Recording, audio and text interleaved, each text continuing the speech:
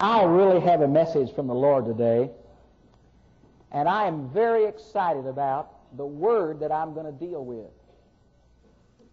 I think it's one of the most significant words in all the Bible. If this one doesn't light you up, your wick is wet. The title of this message is What is Grace? What is grace? You know, basically, there are three questions that we're trying to answer in the realm of religion. What is God is like? How can we know him? And what, if anything, does he want us to do? What is God like? How can we know him? And what, if anything, does he want us to do? Well, I believe grace covers every one of these questions. So what I'd like to do is to go through the biblical usage of grace and then get a definition and then apply it to the situation of our lives. Now, first of all, grace is used in the Old Testament in a very limited sense. That's really surprising to me. There is one Hebrew word that's very close to what we use uh, the word grace for. It's the word hen, just like a chicken, a hen. And it means favor or thankfulness or pleasantness or that kind of thing. And so when the Greek translation of the Hebrew Old Testament was done about 250 BC, called the Septuagint, this little word that we're used to in the New Testament, charis, was used to translate that word.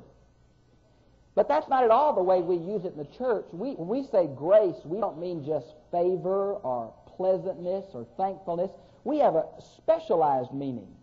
And the closest Old Testament word that comes to the way we use the word in the church is a little word called hesed. If you have a King James Bible, it's called mercy. If you have New American Standard, it's called loving kindness.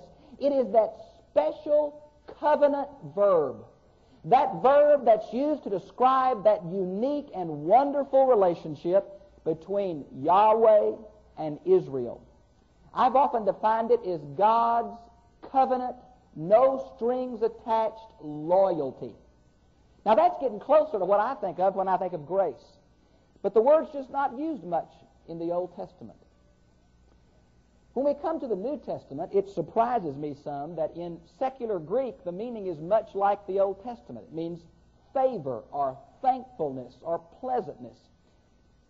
Aristotle defined the word grace like this helpfulness toward someone in need, not in return for anything. Helpfulness for someone in need, not with thinking about what we get back. Well, now this begins to take on the connotation of helping someone that has no possibility of paying you back, or helping someone undeserved.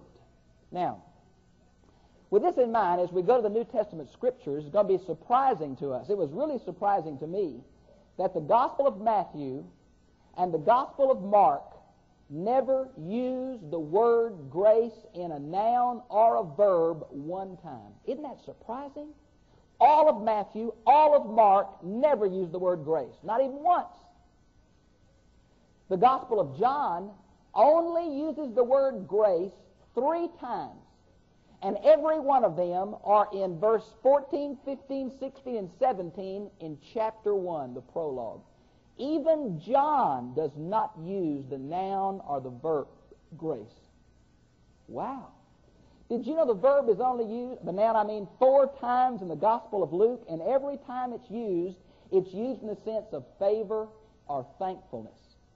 Well, doesn't that surprise you that one of the main line biblical theological terms is not used by Jesus? The Gospels record Jesus' words and teachings, and Jesus did not discuss extensively the concept of grace, at least in that category. Isn't that surprising? Where do we get the concept of grace from? Who?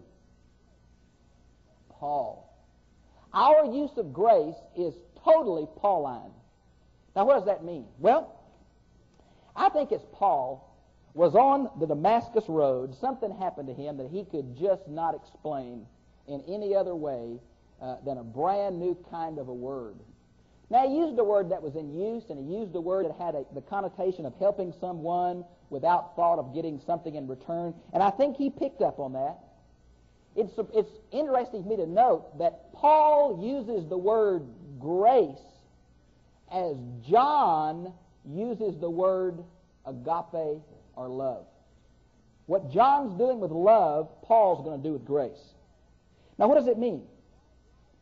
Well, here was Paul, a bright light in the rabbinical schools, a student of Gamaliel himself, zealous for putting down this new heretical sect called Christians, on his way from Jerusalem to Damascus with a letter from the Sanhedrin to persecute and kill and take the property of more of these followers of the way. And as he was going to Damascus, a bright light shone and knocked Paul to the ground. And a voice out of heaven spoke and said, Paul, what he was Saul, Saul, why are you persecuting me? It's difficult to kick against the goads. And Paul said, Who is it? And the voice said, This is Jesus. Woo! Friends, something happened to the Jew right then. that boy got up different than he ever went down, I want to tell you. Because you see, Paul, here he had been persecuting the church. I think he had had some Christians killed. We know he was present at Stephen's martyrdom, and I think he got the taste of blood, and he was going to be zealous for the law. Boy, he was just ripping and snorting over Christians. Matter of fact, he calls himself the chief of sinners and the least of the saints because he said, I persecute the church. Lo and behold, a man like this, breathing fire against the people of God, killing some, and the founder of that new sect appears to him in a marvelous act of grace and redeems his life. Now, Paul is not able to get away from this. First of all, that God would love him. You know, I've talked about it several times recently, and I guess I'm just caught up in the excitement of it. But you know, how you view God will determine your understanding of yourself and your salvation and all the rest. Paul was absolutely flabbergasted that God would love him. Now, you know, I don't know what your concept of God is. I think many people see God as a probation officer. That if you really toe the line for X number of years, then he'll let you in. Or as an umpire who's always out deciding if it's this rule or that rule, or you're out or you're disqualified. Or some vengeful judge just waiting for you to step out of line. Well, Paul's view of God was just shattered when in the midst of his rebellion against the church that Jesus died to start, God in mercy reached down and redeemed that radical Jew's life. Now, Jesus has told us that God is like a loving father, but most of the people I talk to still think that they've got to do something for God to love them or that God's basically mad and they've got to do something really super to get his attitude changed. One of the greatest truths that Paul ever learned was when God dealt with him in the midst of his rebellion in love and acceptance. Second thing I think Paul learned, which answers, I think, the second part of that question is, God initiated his love. You know, I get I get tickled at us. We think John 3.16 is a verse about Jesus. John 3.16 is a verse about a loving God. And not only a loving God, but God starts the process. No one has ever come to God. Paul had searched God for all of his life. He had the Talmud and he had a rule for everything and he had so structured his life. He was a sincere, committed, enthusiastic young rabbi. He had done everything so God would accept him. And in the midst of his going in the opposite direction, God burst into his life. Friends, I want to tell you, no one of us is seeking God unless God calls them first. Isaiah would put it this way All we like sheep have gone astray. Each one has turned into his own way, and not one has sought after God. Uh, John 6, 44 and 65 would put it this way No one comes under the Father unless the Holy Spirit draws them. You do not choose the day that God breaks into your life. God chooses the day. And the picture that's so meaningful to me about God is not that He's a reluctant person who just doesn't want to mess with us, that we're just sinful people. He just wants to wash His hands of the whole thing. God is on your trail, friend. And anytime you're willing to turn around anywhere you are, you'll find God looking you in the eyeball saying, I love you. I want you to know me. I will not give up on you. I will not leave you or forsake you. You cannot run from me. You go as high as the heavens. You go as low as hell. You go as far as the east is from the west. And you'll find a loving God right on your doorstep. That's a hallelujah right there, isn't it? So here's a God that's basically a God of love and acceptance and a God that will not give up on his fallen creation. Paul learned that on that road. And finally, the thing that just wiped Paul out, I think, is that Paul learned that he was accepted totally apart from what he did. Now, think what I'm saying. God loved him and accepted him totally apart from anything that Paul did or could do. There are some miserable Christians who are still trying to be right with God with their own efforts. And that's good if you got a good week. If you had a real good week, a real religious week, or you know, you did some real good religious things, and everybody's saying, woo! But boy, I got some bummers of some weeks. Do you? Deliver me from my ability to please God. I want to show you in the scriptures. You ought to write this down. This, this is the first part that'll light your wick right here. Salvation is totally unrelated to human merit or effort.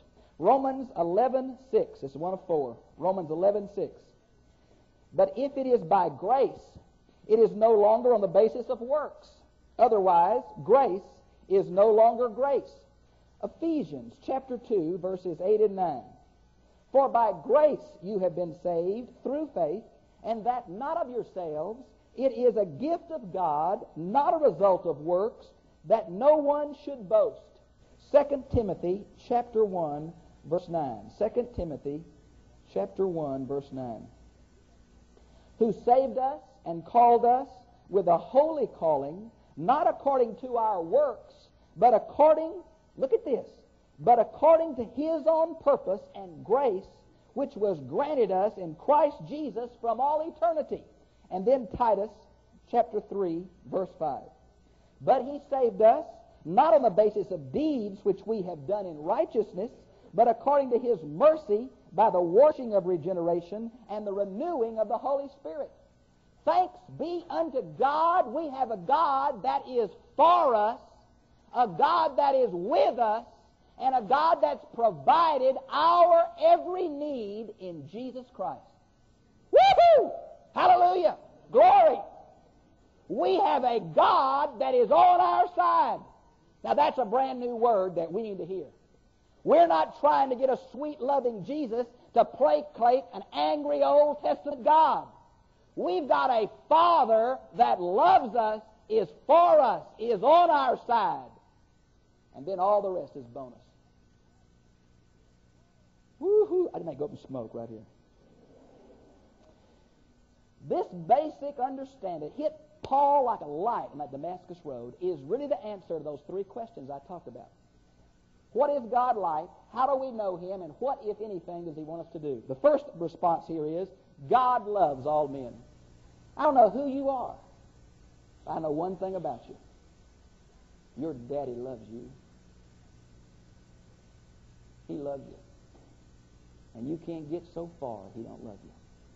And he loved you enough to send his only son to die in your place. God loves you. I want to give you a couple of verses. Because when, when uh, Ed read Romans 5, you want to look at 17 and 18, talks about God's love. I think one of the most beautiful ones that I know about is in Hebrews chapter 2, verse 9. Listen to this. But we do see him who's been made a little lower than the angels, namely Jesus, because of suffering of death, crowned with glory and honor, that by the grace of God he may taste death for everyone. Oh, what a beautiful one. There's another one, Titus chapter 2, verse 11. For the grace of God has appeared, bringing salvation to all men. I don't know what kind of problems you've got, but the one problem I know you don't have is God doesn't love you. You don't have that problem because he loves every one that he's created in his image. Now, the second one how do we know God? What is God like? He's like a loving father. How do we know him? The only way we know him is through either the written word or the living word. And right now I'm focusing primarily on the living word, which is Jesus Christ. And the word that comes so clearly in Jesus Christ is that Paul learned so clearly in the Damascus Road is this. Knowing God is a free gift. Do you believe that? I mean, really, honest to goodness, do you believe that being saved, knowing God, being right with God, going to heaven, being part of God's family, living for eternity is an absolutely no strings attached, 100% free gift? we don't act like it, do we? Now, there's another part to this, but I want to tell you salvation is absolutely free in the grace of God. You say, You got a few verses? I think I got one or two. Write these down. Free gift. Romans 3.24, 5, 15 through 17, 6.23, and Ephesians 2, 8 and 9. By a free gift of His grace. And finally, what does God want us to do, if anything? He wants us to trust His Son. He doesn't want us to be all excited and goosebump and find out how close we are to the Lord by how many goosebumps we have. He doesn't want us just to know theology to find out how close we are to the Lord by what kind of theology test we can pass. He doesn't want us to check our attendance record at church to see what kind of Christians we are. He wants us to trust His Son. If I could use a an Easter metaphor, this is going to be bad. He wants us to put all of our eggs in His basket. Don't keep any of them in yours. There is in you dwelleth no good thing. Everything we have is from a loving God as a free gift through the mediation, the life, the death, the sacrifice of Jesus Christ. You know what you can do for God? Woo, woo, woo. You can't do anything for God. All you can do is accept what He's already done for you. Now, once you accept it, there are great things ahead, but you can't start without accepting what He's already done in His Son. You can't add to it. You can't take away from it. You can't make it better. You can't make it relevant. All you can do is transfer your trust from you to Him. Now, I want to give you a definition of what I think grace is. I took this from the Baker's Dictionary of Theology, page 257. I want you to listen to this. I think it's pretty good. Of all I read, this was probably the better one, except for my own. the essence of the doctrine of grace is that God is for us. What is more, He is for us who in ourselves are against Him. Still more, He is not for us merely in a general attitude, but has effectively acted toward us. Grace is summed up in the name Jesus Christ. Hmm. Give you one of my little little bippies. Grace is the unsought, unbought activity of God in Christ.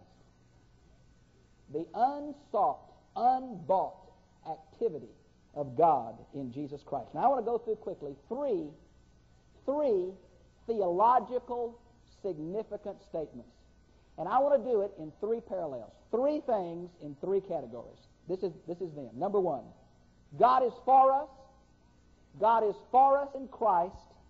God is transforming us into Christ likeness. Now, grace is all three of those. It's God's attitude, it's God's action, and it's God manifesting His attributes in His children. Attitude, action, attributes. God is for us. God is for us in Christ. God is transforming us into Christ likeness. Now, to lock that down biblically, I want you to turn to the fourth chapter of 1 John. 1 John chapter 4. I hear those pages turning. 1 John chapter 4. God is for us. Chapter 4, verse 8. The one who does not love does not know God, for God is love. Number two, God is for us in Jesus Christ. Verses 9 and 10. By this the love of God was manifested in us, that God has sent his only begotten Son into the world, so that we might live through him. In this is love, not that we loved God, but that he loved us and sent his Son to be the propitiation for our sins. God is transforming us into Christ likeness. Verse 11 and 7. Beloved, if God so loved us, we ought to love one another. Verse 7. Beloved, let us love one another. For love is from God, and everyone who loves is born of God and knows God. God is for us. He's for us in Christ and he wants to make Christ likeness in us. Grace covers all the Christian life. It covers all of eternity, past and future. Grace is the attitude of the Creator. Grace is the action of Jesus Christ. Calvary is the picture of the how far God will go in His love. The empty tomb is a picture of how powerful the love is. And the ascension is the promise that the love is coming back again. Grace. Grace is an attitude and an action of the triune God moving toward a transformed community. Will you bow your head with me, please? Would you sing with me this one song as we pray together? Oh, how he loves you and me. Oh, how he loves you and me. He gave his life. What more could he give? Oh, how he loves you. How he loves me. Oh, how he loves you and me. As we continue to pray, I'm going to ask you if you're here and you have never, never accepted the love of God in Jesus Christ, but you feel that still small voice of God calling to you, saying, I love you. Come unto me through my Son. That's the Holy Spirit. This is God's day for you. Right now, the Spirit of God is speaking to many hearts who have never personally received Jesus Christ, never volitionally transferred their faith from their own goodness totally to Him apart from us. Oh, Christian, don't grow weary in well doing. In due season we shall reap if we faint not. God is for us. God is for us. God is for us. Jesus is for us. The Holy Spirit is for us. We've got it made. Child of God. Hang in there. Hang in there. They'll know that we've been with Him if we love one another. I pray the Spirit of God has spoken to you today and that you'll respond.